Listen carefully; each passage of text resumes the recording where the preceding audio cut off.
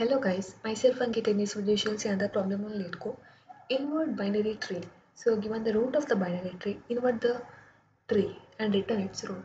So what do you mean by inverting? Inverting means if the node is on the left side, you have to invert that to, and put it on the right side. If node is on the right side, then put it on the left side. So if you, could say 4, 4 is a root. If you check the left node and right node, 2 and 7 was it becomes 7 and Next again go down the entire subtree went to left this entire subtree went to right and I mean the positions exchange. So you see 7 6 and 9 exchange to 9 and 6 again 1 comma 3 exchange to 3 comma 1 so how does we how do we invert the binary tree so first what we do is we start with the root. So this is the root. Okay. Now first swap the entire left subtree and entire right subtree so first swap these two trees so swapping these two how do we do? So we have the function okay? And some parameters are there. That function is nothing but the same function. And i'll write it. So inside what we need to do? First check if root is equal to equal to null is it equal to null no. If it is equal to null just return null so here root is not equal to null so what we need to do? Root dot left and root dot right. We have to swap the entire subtree. So create a temporary node, tree node, start temp. In C++ we do the referencing. In Java just tree node temp is fine. That will be we will root dot right. Okay. So root dot right is stored in tree dot tree uh, temp uh, a node called temp. Next now assign root dot right equal to root dot left.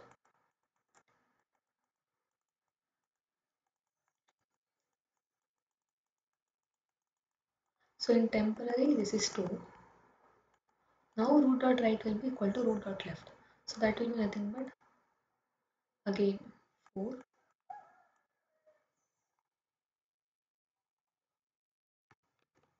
yeah root dot right will be equal to root dot left means this entire left subtree will be assigned to right now and this is temp is containing this subtree which is I marked in the red circle now at last assign root dot left equal to temp so this subtree is attached to here. So what will be that? So if, I attach that will be 7 6 9 so now you could see this subtree and this subtree inverted. 7 6 9 have moved to left and 2 1 3 is moved to right. So subtree is inverted. Next again check so first root is pointing here another root is pointing first this root will be checked. Is it equal to null? No. Now we have to call recursively the same function. For root dot left and root dot right. First check whether root is equal to null. Now tree node temp you swap the left and right subtree so once swapping you get this now again call root dot left for this subtree call the invert function and then for this subtree call the invert function. When you come for this subtree so in this subtree here the pointer will pointing root. Check whether is root equal to no. Then swap the left and right subtree of this subtree that is nothing but 6 and 9 so 6 is the left subtree 9 is the right subtree. So the swap these two that will be nothing but 4 7 9 and then 6 fine. So this subtree is done. Again here it will call for now root dot left. So that will be here. So here it all are pointing to null. So that will just return null. So this subtree is entirely null. Now we'll move to this subtree right. So here right. Again check. The root is pointing here. Is it null? No. Now swap the left and right subtree of this subtree so that is nothing but 1 and 3 okay. So you, when you swap this that will be nothing but 3 and 1 so here you have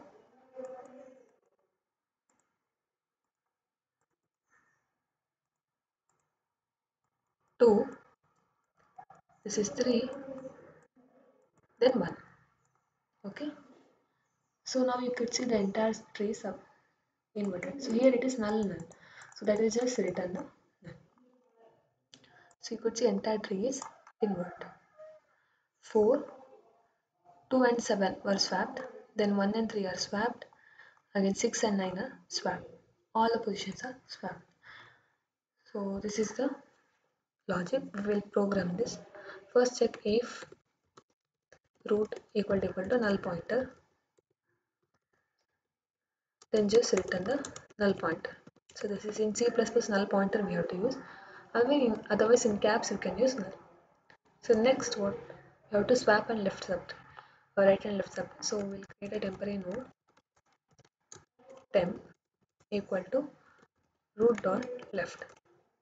So next root dot left will be equal to root dot right. So now root dot right will be equal to temp. So here we are swapping the left and right subtrees.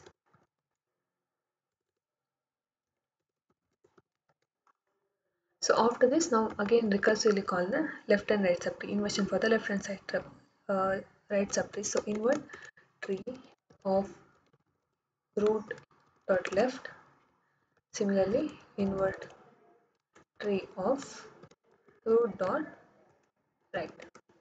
So after doing all this just return the root. That will be the inverted subtree.